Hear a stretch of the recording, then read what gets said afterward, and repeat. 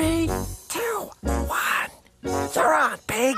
Look, he's telling you to say hello. Oh, no. Pig, pig! Uh. well, he is a pig after all.